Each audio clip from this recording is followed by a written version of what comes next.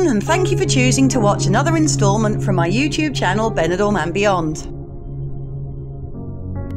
Today I am taking you on the beautiful walk from the Rincon de Loix all the way to the historic Torre de Caletes watchtower, which is situated on the Punta del Cavall or Cavall Point. On our way we will pass two coves, firstly Cala Almadrava and secondly Cala Tio Ximo. There and back, the journey is about 4 kilometres in total. We start our journey at the small apartment complex of Castel del Mar with its charming whitewashed houses and small courtyard areas filled with plants. From there, we carry on downhill and past British Bar Maritas, which offers a great spot to stop for breakfast or lunch with stunning views before or after the walk itself.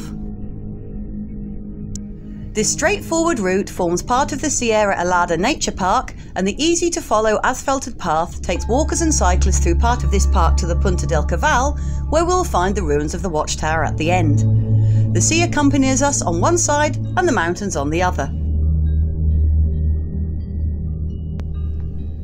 As you can see here, our first glimpse of Cala Almadrava, which is made up of fine sand and rocks and is a popular place for sunbathing, swimming and diving.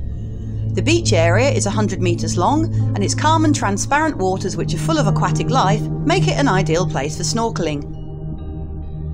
To access it, you must walk down a few steps, then across the countryside, so make sure you wear appropriate footwear if you don't want to stub your toe, or worse.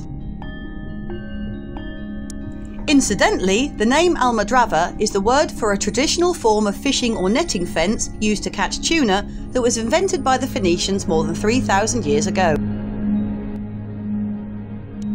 Slightly further along the coast, we pass the second stunning cove, Cala Tio Ximo. This is a smaller bay of only 60 metres, and again it offers crystalline waters and a small section of shore. Cars can be driven down quite close to the beach access point, but parking is very limited, so it may be best to park slightly further away on Punta de Pinet and walk all the way down instead. Both coves are well known nudist spots, so do be aware, although Benidorm City Council does not officially recognise them as such.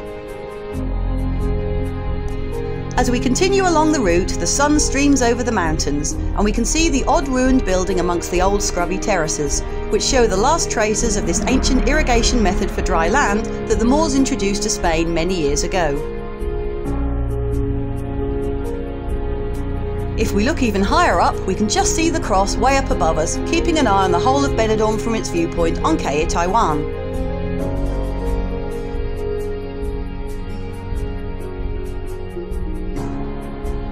The whole route is on very easy terrain and is hugely popular. Along the way, you are more than likely to see cyclists, joggers, fishermen, hikers, and many people strolling along or walking their dogs.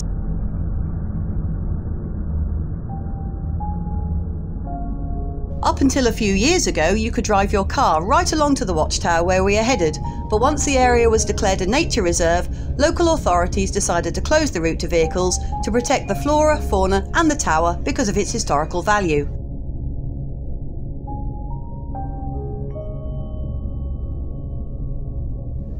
Regarding the fauna that you might see along the way, there are many yellow legged gulls, swallows in springtime who do not stop singing and shrieking while they flutter about, and if you are lucky, you might even spot a hawk or two that sometimes come out to hunt for food and are a fabulous sight to see.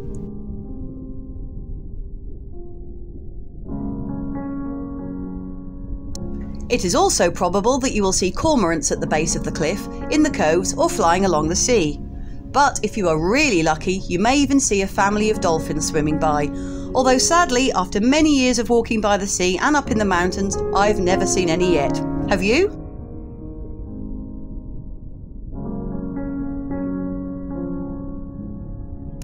The flora, or plant life, mainly consists of pine trees, which are scattered around the ravines and over the mountainside. This is mainly due to the fact that it is a dry, sunny, shadeless area and is typical of the region.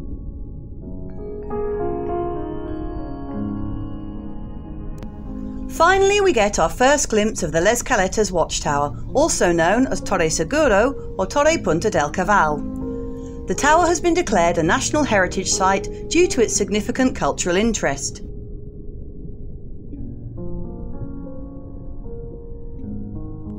Back in the early 1600s, the authorities of the time, in particular the King Felipe II, ordered watchtowers to be built along the Levante coast to avoid the constant threat of Berber pirates.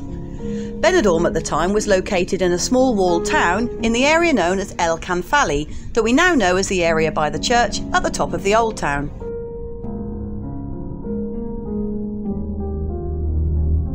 At the base of the cliff, there are fossilised sand dunes formed over 75,000 years ago, and another reason that the area was declared a nature reserve.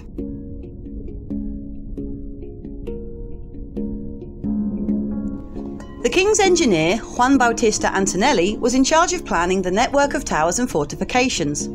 Aguilo Tower in La Cala de Villajoyosa, the walls of the castle of Benidorm, the tower which we are talking about today, and to the north the Bombarda Tower next to Albir Lighthouse all date from that period. The Torre Caletes is now in ruins, and added to the fact that it is on the edge of the cliff, it is advised not to get too close to it in case of collapse or landslide. However, with the addition in recent years of wooden steps up to it with plenty of handrails, it's a lot easier to enjoy this area than you might think at first glance.